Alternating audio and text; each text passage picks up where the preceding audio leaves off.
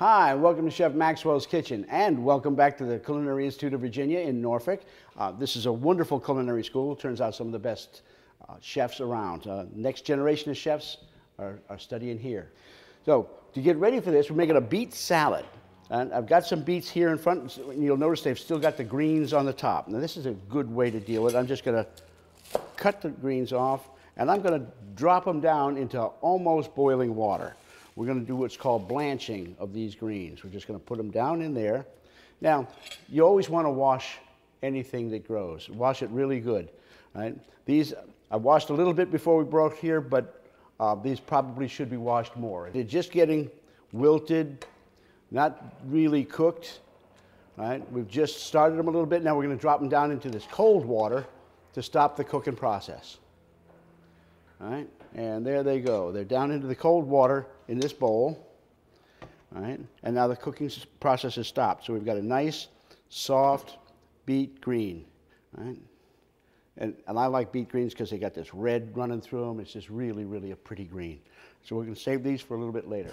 All right, now there's a couple of ways to cook beets for the salad. What I did was I boiled them. I put them in the pot, put them on the, on the water with the jacket still on, and, and that takes about 35 to 45 minutes, depending on the size of the beets. So I've got one here, right, that I took out of the water and it still has the skin on it. And you can see how,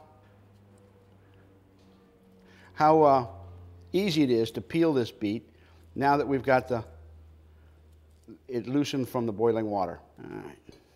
But since I've got lots already done, I'm not going to peel that whole beet. This is what it looks like when it's completely peeled. It's hard to tell the difference, but it's wonderfully soft. Ah, love it. Very good. Right. Now, what we're going to do is next is build a vinaigrette dressing. Right. We're going to take this over here, bowl. We're going to add some vinegar. Just a little apple cider vinegar. But you can use other kind of vinegar, champagne vinegar. What we're looking for here is the acid. We're going to put a couple of teaspoons of garlic, and we're going to add a little bit of mint. I'm going to mince that up. And now we're going to, we're just going to make it a little, we don't want to chop them really, really fine. We just want to make them a little bit thinner, right, so that they go into the vinaigrette nice. Right? So in goes the mint, and in goes a little bit of Dijon mustard. A couple of teaspoons of that, and I'm going to whisk it up. Now this is a good basic vinaigrette. Right. I'm going to now trickle in a little bit of salad oil. This is peanut oil. It's good roasted peanut oil. It has a, has a flavor and aroma of peanuts. So I've got my vinaigrette built here, and I'm going to divide this into two bowls. In this bowl, I'm going to add beets already diced up. Add some of those. Add some onions. And toss that good. Just mix that around in here. Let that set for just a couple of minutes. And I'm going to take this bowl of vinaigrette and take my beet greens. And I'm just going to cut what's known as a chiffonade, long strips of the beet greens. And I'm going to put that down in this dressing. And when I clear off enough room here, right, I'm going to go ahead and show you how to put this dish together. So we'll be back in a second.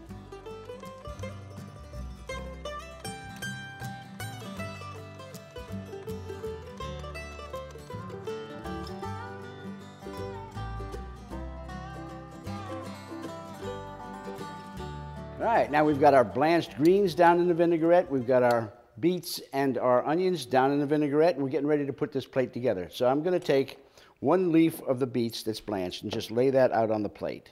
Um, that gives us a little bed to put this on, but it's cooked so you can eat it. It's not like raw stuff sitting out there. Now I'm going to take this little round thing set it right in the center. This is actually a biscuit cutter, but you could use any kind of tube or any kind of mold. And I'm going to go ahead and put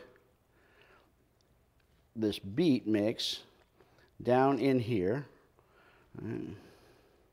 I don't want to get too much of the vinaigrette in there. The vinaigrette was in there to flavor these beets, not necessarily to live with them forever. All right. I'm going to take a little bit of the greens that we've got marinating in here, and I'm going to put those on top of that. And cover that up good. All right, and this is almost ready now. I'm going to take some goat cheese right, and make a very thin cut of goat cheese and lay that right over the top of this. Now goat cheese, this is a nice soft goat cheese. I'm letting this set just a little bit so it has a chance to hold together. And now what we're going to try and do is pull this ring mold off and leave this nice and straight. You could top this off with pretty much anything you want. Uh, we could put a little bit of uh, seeds or some walnuts work really well. And the walnuts you could either use chopped, plain, halves, candied. Works really well any way you want to do it. So we've got beets, beet greens, a little goat cheese, and I'm going to take just a little bit more of this vinaigrette and kind of go around the plate to dress this up some. Okay, and there we go. Good Virginia beets with beet greens and goat cheese. Delicious salad. Remember, here at Chef Maxwell's, we always play with our food, but it's better if the food is safe, fresh, and locally grown. For more delicious recipes using Virginia-grown fruits and vegetables, contact Lisa Lloyd at the Virginia Department of Agriculture and Consumer Services at 102 Governor Street, Richmond, Virginia, 23219. Chef Maxwell's recipes are listed on the Virginia Farm Bureau website at vafarmbureau.org.